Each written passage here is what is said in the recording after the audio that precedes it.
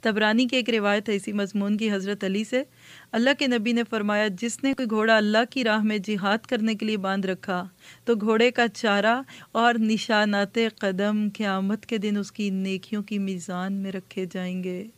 سبحان اللہ ما قدم و سارا تو وہ ڈسٹنس جو آپ کور کرتے ہیں نا، وہ بھی نوٹ ہوگا۔ کتنی دور سے چل کے جاتے تھے، کتنی دور گاڑیاں جاتی تھیں۔ اور آپ کمپیوٹر پہ سننے والوں کے نام پھر اس سے کیا خوشخبری ہوگی؟ کتنی مشکل سے آئے، کتنی میموری لگی آپ کے کمپیوٹر پہ، کتنا خرچہ آپ کا آیا؟ آپ کا لیپ ٹاپ کتنے کا آیا؟ آپ نے جو زبردستی کر کے لے لیا کہ مجھے اپنا الگ سے چاہیے۔ اور آپ نے کتنی مشکل سے سیکھا اس کے کلک کرنے؟ اور ماؤس پہ آپ کے جتنے ہاتھ لگے، اور کی بورڈ پہ آپ کے جتنے اثرات لگے، یہ سارے کل قیامت کے دن تو لیں گے۔ آپ کے پینوں پہ لگے ہوئے نشان تو لیں گے۔ آپ کے ہاتھوں کا آیا ہوا پسینہ تو لے گا انشاءاللہ، اور آپ کی کاپیوں کے صفحے تو لیں گے۔ اب اس کا یہ نہیں مطلب کہ موٹی کاپیاں استعمال کریں۔ وہ چھوٹے سے پرچے کو بھاری کر سکتا ہے، پیچھے آپ سن چکے ہیں۔ اللہ اکبر۔ چلیے، اگلی چیز پہ چلتے ہیں۔ اگلا پوائنٹ ہے، پہلے روایت اور پھر اس کا انشاءاللہ آپ کو نام بھی بتا دوں گی۔ صحیح سند ہے۔ حسن درجے کی سند ہے، حضرت علی سے اسفہانی میں۔ نبس وسلم نے حضرت فاطمہ سے فرمایا، اٹھو اور اپنی قربانی ذبح ہونے کے وقت اس کے پاس خود موجود رہو۔ یہ نوٹ کیجیے گا بات یعنی جو قربانی کر رہا ہے وہ خود بھی وہاں موجود ہو۔ جو قطرہ اس کے خون کا ٹپکے گا، وہ تمہارے لیے ہر گناہ کی مغفرت کا سبب ہوگا۔ خوب سن لو، اس کا خون اور گوشت لا کر ستر گنا کر کے تمہاری میزان میں قیامت کے دن وزن کے ساتھ رکھ دیا جائے گا۔ یہ سن کر ابو سعید نے عرض کیا، اے اللہ کے رسول، کیا یہ حکم آل محمد صلی اللہ علیہ وسلم کے لیے مخصوص ہے؟ کتنے حریص ہوتے تھے نا؟ کہا کہ شاید آپ نے اپنی بیٹی سے کہا تو یہ نیکی صرف انہی کے حصے میں آئے گی یا آپ کے گھر والوں کے لیے؟ فرمایا، آل محمد صلی اللہ علیہ وسلم کے لیے بھی ہے اور عام مسلمانوں کے لیے بھی ہے۔ وقان بالمؤمنین رحیمہ امتیوں کے لیے بھی یہی حکم ہے۔ اس سے پتہ چلتا ہے دین کتنی جسٹس والا ہے۔ یہ نہیں کہ پریسٹ کوئی نیکی کرے تو اس کی نیکی کا بہت وزن ہے اور مقتدی کوئی نیکی کرے تو اس کا کم ہے۔ تو کیا پتہ چلا کہ قربانیوں کے گوشت بھی تو لیں گے، یہ خون بھی تو لے گا۔ اسی طرح ایک اور روایت، اگلی چیز جو ہمارے نام اعمال میں تو لے گی بہکی نے ابن مسعود سے اور ابن حبان ابو ذر غفاری رضی اللہ تعالیٰ عنہ کی روایت سے نقل کیا ہے۔ اور ایک اور روایت میں وہ حریرہ سے بھی یہ نقل کیا جاتا ہے، اللہ کے نبی نے فرمایا، جس نے وضو کر کے صاف پانی سے وضو کا پانی پونچھ لیا، تو اس کوئی حرج نہیں۔ یعنی کوئی حرج نہیں اگر وضو کر کے کوئی پونچھ لیتا ہے، پانی کو ڈرائی کر لیتا ہے۔ اور اگر ایسا نہیں کیا تو یہ افضل ہے، کیونکہ قیامت کے دن دوسرے اعمال کے ساتھ وضو کو بھی طلب کیا جائے گا۔ سبحان اللہ، آپ کے وضو کا پانی۔ جو آپ کے جسم پہ رہ جاتا ہے، یہ بھی تو لے گا۔ ابن ابی شیبہ نے مصنف میں لکھا کہ سعید بن مسیب، یہ تابعی تھے، انہوں نے یہ وضو کے بعد رومال کو پسند نہیں کرتے تھے۔ کیا کہتے؟ فرمایا، اس کا بھی نیکیوں کے ساتھ وزن کیا جائے گا۔ اللہ اکبر۔ چلیے، اگلی چیز نوٹ کرتے ہیں، پہلے روایت۔ تبرانی کی روایت ہے عمر بن خطاب رضی اللہ تعالیٰ عنہ سے۔ کہتے ہیں، میں نے ایک اونٹنی اللہ کی راہ میں دے دی، پھر اس کا بچہ خرید لینے کا ارادہ کیا۔ پہلے اونٹنی دی تو بچہ بھی ہو گیا اس کا۔ تو کہا، چلو بچہ، میں خرید لیتا ہوں. اللہ کے نفس وسلم سے مسئلہ پوچھا گیا۔ فرمایا، رہنے دو، قیامت کے دن یہ اور اس کی اولاد سب تمہاری میزان میں آئے گی۔ اللہ اکبر۔ آپ کے صدقے، قربانیاں۔ اگر کچھ نیت کی تھی، کچھ ایکسٹرا دے دیا، تو وہ بھی ان شاء اللہ تعالیٰ آپ کے نام اعمال میں تلے گا کل قیامت کے دن۔ اللہ نے چاہا تو۔ اگلی چیز، پہلے روایت۔ زہبی نے عمران بن حسین سے روایت کیا۔ اللہ کے نبی نے فرمایا، قیامت کے دن علماء کی روشنی، علماء کی روشنائی یعنی انک، سیاہی، اور شہیدوں کے خون کا وزن کیا جائے گا۔ اور علماء کی روشنائی شہیدوں کے خون سے بھاری نکلے گی۔ فمن سکلت موازی نحو فلائے المفلحون۔ جن کے پلڑے بھاری ہوئے وہ فلا پائیں گے۔ علم کی اتنی شان ہے کہ اس کی روشنی، اس کی سیاہی شہیدوں سے بھی زیادہ ہے۔ وقت کے وقت کی بات ہے نا۔ دیکھیے کبھی جان دینا ضروری ہوتا ہے کیونکہ دشمن سرحد پہ کھڑا ہے۔ اور کبھی کبھی علم دینا لازمی ہوتا ہے کیونکہ دشمن ذہنوں کی سرحدوں کے پاس کھڑا ہے۔ اور کیا انسان کے نام اعمال میں وزن ہو کرتا ہے؟ ابھی تک تو میں نے آپ کے ساتھ یعنی حدیثوں کے ساتھ ساتھ ساتھ لیا۔ اگر آپ پوری باتوں کو ایڈ اپ کر لیں، خلاصہ کر لیں، تو بات کیا پتہ چلتی ہے کہ انسان کے نام اعمال میں جو وزن ہوگا نا، وہ خلوص کا ہوگا۔ اخلاص۔ اخلاص کتنا تھا؟ دیکھیے، یہ موسٹ امپورٹنٹ تھنگ ہے۔ صورت بینہ کو اس کی دلیل پہ لکھ لیجیے۔ وما امیر اللہ لیابد اللہ مخلصین اللہ الدین خنفا اور اخلاص پہ جو روایات ہیں ان نملا مال بنیات جتنا خلوص زیادہ ہوگا نا، اتنی نیکی قبول ہوگی۔ خلوص کی کمی نیکیوں کو برباد کر دے گی۔ میں آپ کو ایک مثال دینا چاہوں گی۔ آپ دیکھیے کہ کسی کے پاس، آپ کے پاس دو ہزار ڈالر تھے۔ مثال دیتی ہوں۔ آپ نے اس کو خرچ کر دیا اللہ کے راستے میں، ٹھیک ہے؟ لیکن آپ نے ساتھ ہی ساتھ نیت بدل لی، کسی کی مجبوری پہ دی۔ کیا کریں آپ فنڈ ریزنگ میں آئیں؟ اتنے بڑے آدمی ہیں شہر کے، اگر نہ دیا تو بےزتی ہوگی۔ لاؤ، مرے باندھے دو ہزار کا چیک کاٹا دے دیا۔ آپ نے کیا کیا؟ دو ہزار کو اپنے زیرو سے زیرو سے ملٹیپلائی کر دیا۔ زیرو کیا ہے؟ اخلاص کی کمی۔ دو ہزار into zero is equal to zero. اور اگر آپ دو ہزار کو خلوص کے ساتھ لیتے تو آپ کا خلوص کیا ہے؟ ایک۔ اس کو ایک سے ڈپمنٹ سمجھے عام درجے کا خلوص ہے تو ایک ہے۔ آپ نے ٹو تھاؤزینڈ ڈالر اسپینڈ کیے فی سبیل اللہ۔ کسی بھی نکی کے کام میں تو two thousand into one is one. آپ کو دو ہزار کا پورا ثواب ملے گا۔ خلوص بہت زیادہ تھا، دیے دو ہزار۔ دل چاہ رہا تھا کبھی دس ہزار ہوتے تو وہ دیتا۔ تو آپ کا یہ جو ون ہے نا، یہ ٹین میں بدل جائے گا۔ آپ کی نیت بڑھ گئی نا، دس گنا نیت ہو گئی۔ اب دے ذرا دو ہزار کو ضرب ون، ٹین کے ساتھ۔ آپ یہ سارے فگر لکھیں گے اپنے نوٹس میں۔ کیا ہوگا؟ آپ کے دو ہزار کتنے ہو گئے؟ بیس ہزار ہو جائیں گے۔ اور خلوص بڑا۔ ہائے اللہ، میں نے صرف دس ہزار دیا ہے۔ ان کو تو ضرورت ہنڈریڈ تھاؤزینڈ کی تھی۔ اللہ، میرے پاس ہوتا میں ضرور دیتی۔ چلو جو ہے وہ تو کروں، بسم اللہ تو کروں، ہو سکتا ہے کوئی اور بھی دے دے بعد میں۔ بس، اب آپ نے دو ہزار کو ان ٹو ملٹی پلائی کرنا ہے ہنڈریڈ سے۔ تو کیا ہو گیا؟ کرتے جائیے۔ زیرو بڑھتے جائیں گے، بڑھتے جائیں گے۔ فمن سکولت موازین ہو فلاقم المفلحون۔ یہ آپ کے اور میرے ہاتھ میں اخلاص شرط ہے۔ کوئی ہاسپٹل بنا دے زیرو سے ملٹی پلائی کر دے زیرو بڑی بڑی افطاریاں کرا دے زیرو سے ملٹی پلائی کرے زیرو اور چاہیں تو ایک سے لے کے انفینٹ تک کے درجے موجود ہیں، اخلاص بڑھاتے جائیں، نیکیاں بڑھیں گی اور دنیا میں بھی بڑھ جاتی ہیں۔ یہ بھی یاد رکھیے گا۔ یہ آخرت کے سکولت نہیں ہے یہ پوائنٹ ایک الگ سے آپ نوٹ کر سکتے ہیں۔ صرف آخرت میں نہیں، پلڑے بھاری ہوتے، اللہ اخلاص والی نیکیوں کو دنیا میں بھی پھیلا دیتا ہے۔ ابراہیم علیہ السلام کی نیکیوں کو دیکھ لیں۔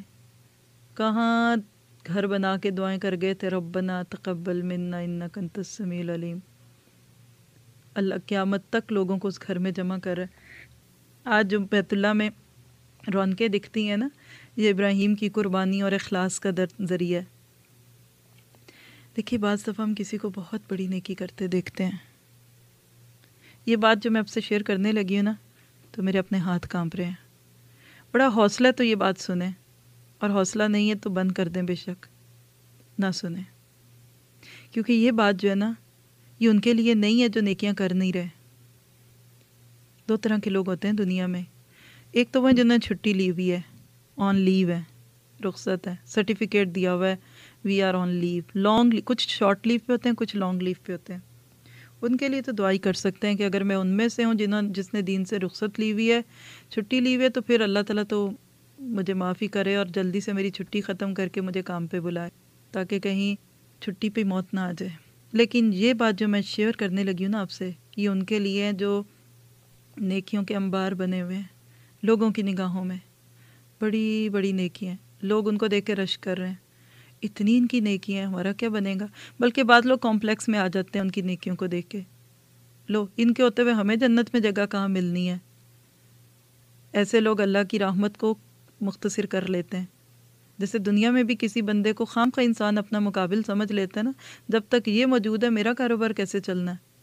اور اللہ کے رزاق ہونے کا انکار کر دیتے ہیں۔ لیکن حقیقت میں دنیا میں کچھ لوگ ہوتے ہیں، بڑی نیکیوں والے، ظاہر۔ کل قیامت کے دن ان کا وزن کیسے ہوگا؟ اس کو سمجھنے کے لیے ایک مثال دوں گی۔ سوچئے گا، پھر اس کے روشنی میں دیکھیں گے۔ دیکھیے کہ کسی کے پاس ایک سونے کا سیٹ ہے۔ اس کو کسی وجہ سے اس کو بیچنا پڑتا ہے۔ بہت بھاری سیٹ ہے، جڑاؤ سیٹ شادیوں میں ہوتا ہے۔ خوب موتی لگے ہوئے، ڈوریاں لگی ہوئی نگینے جڑے ہوئے، اوپر پالش لگی ہوئی ہے، دو تین رنگ کی کوٹنگ ہوئی ہے۔ کسی مجبوری میں ہے اور وہ کہتی ہے کہ چلو میں اس سیٹ کو بیچ دیتی ہوں۔ ہو سکتا ہے کہ گھر میرا بن جائے اور بہت قیمتی سیٹ ہے اور اب سونے کی قیمت تو بڑھی گئی ہوگی، تو لگتا ہے کہ اس سے میری ایک سیٹ سے پوری کی ضرورت پوری ہوگی۔ اب بال فرض اگر وہ پندرہ تولے کا سیٹ لے کے سنار کے پاس جاتی ہے۔ آپ بتائیے کہ سنار اس سیٹ کی قیمت کیسے دے گا؟ کیا اس کو دیکھے گا، فوراً اس ترازو میں رکھے گا اور پندرہ تولے ہے تو اس کا پورا وزن چیک نکال کے دے دے گا اس کو؟ نہیں دے گا نا؟ کیا کرے گا؟ سب سے پہلے کیا نکالے گا؟ ڈوری کاٹے گا۔ آپ بھی تصور میں ڈوریاں کاٹیں ساری۔ پہلے ڈوری کٹے گی۔ جب بھی کسی کو آپ نے پرانا زیور دیا ہوگا، وہ سب سے پہلے پیچھے وہ میلی ڈوری کاٹتا ہے۔ چلیے۔ اس کے بعد پھر وہ اس کو ترازو میں رکھے گا، ایک پلڑے والی۔ پھر اس کے بعد آپ دیکھیے کہ وہ اس میں سے کھوٹ نکالے گا۔ یہ کے ڈی ایم میں بنا ہوا ہے یا پیور میں بنا ہوا ہے یا ریگولر بنا ہے۔ انہوں نے ایک ریشو رکھا ہوتا ہے عموماً، دس تولے پہ ایک تولا ایک تولا مائنس ہو گیا، کھوٹ نکالے گا۔ نکل گیا۔ ایک تولے کی آپ سمجھیں کہ اس میں سے آدھے تولے کی ڈوری نکل گئی۔ پندرہ تولے میں سے ڈیڑھ تولا آپ مثال لے لیں، صرف ایک سمجھانے کے لیے۔ ڈیڑھ تولا اس میں سے کھوٹ نکل گیا۔ ٹانکا نکل گیا جس کو کہتے ہیں، یا کھوٹ۔ ہاں کھوٹ کے بعد، کیونکہ وہ کہتے ہیں کہ ہم پیور گولڈ کے اندر پہلے کھوٹ ملاتے ہیں، پھر ہی یہ ڈھلتا ہے۔ ورنہ نہیں بنتا۔ اور آپ کو بھی پتہ ہونا چاہیے جب آپ زیورات خریدیں، پیور گولڈ کبھی ڈھلتا ہی نہیں ہے۔ وہ تو اتنا نرم ہوگا کہ وہ آپ کی گردن میں آنے سے پہلے ٹوٹ جائے گا۔ وہ اس میں پہلے ملاتے ہیں، کھوٹ پھر نکالتے ہیں۔ لیکن جب خرید جب آپ خریدتے ہیں تب نہیں وہ بتاتے۔ جب آپ بیچنے جائیں گے پھر بتائیں گے۔ بہرحال، پھر اس کے بعد دوسری، تیسری چیز جو وہ نکالتا ہے نا، وہ ٹانکا نکالتا ہے۔ وہ بتاتا ہے کہ دیکھیں یہ چیز ٹکڑیاں ٹکڑیاں جوڑی ہیں نا، اس میں ٹانکا ہوتا ہے۔ یہ ٹانکا اس میں سے نکلے گا اور وہ بہت بڑا ہوتا ہے ان کے یہاں، کیونکہ وہ پتہ نہیں کس چیز سے لگاتے ہیں ہیوی ہوتا ہے۔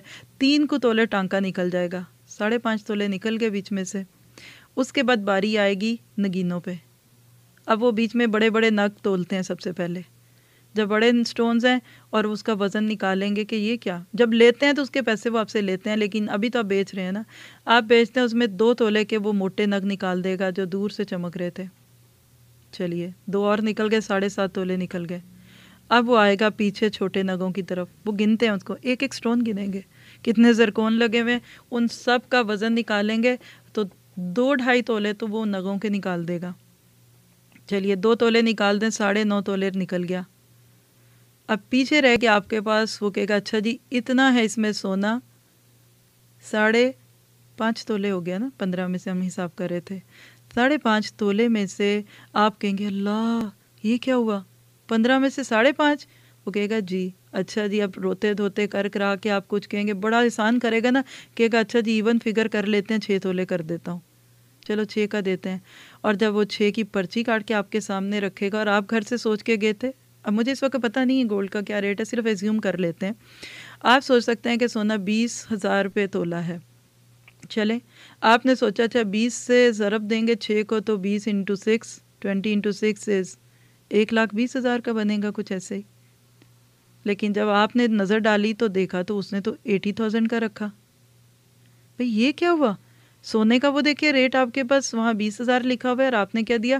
کہتے ہیں جی وہ نئے سونے کا وزن تھا، یہ پرانے کا دیا ہے۔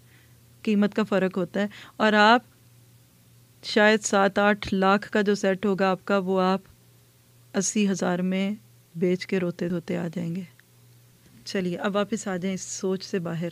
اب باقی چیزوں کو نہ سوچیے، آگے چلیے۔ کل قیامت کے دن ہمارے اعمال کے سیٹ بھی ایسے ہی تلنے ہیں۔ اللہ تعالیٰ ہمارے حجم کو نہیں دیکھے گا، ہمارے گھنٹوں کو نہیں گنے گا۔ ہماری بولی ہوئی باتوں کو نہیں تولے گا۔ ہمارے لکھے ہوئے صفوں کو نہیں گنے گا۔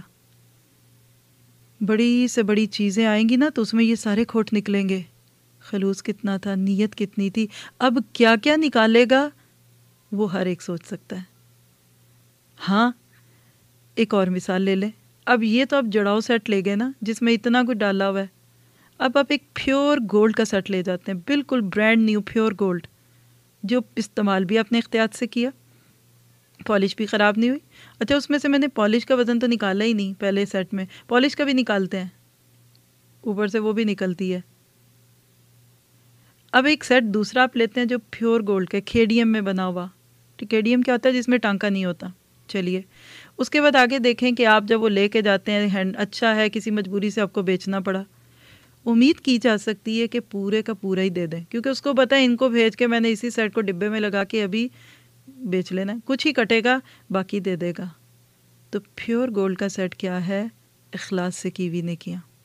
جتنی پڑ، چمک کر لیں گے نا، اتنی ہے۔ ہمارے اعمال کی کا جو خلوص ہوتا ہے نا، وہ پالش ہے زیور کی۔ بڑے لوگ جب زیور دلواتے ہیں نا، تو یہ کہتے ہیں، دیکھو نگوں والا مت لو، جب دیں گے تو بکے گا نہیں۔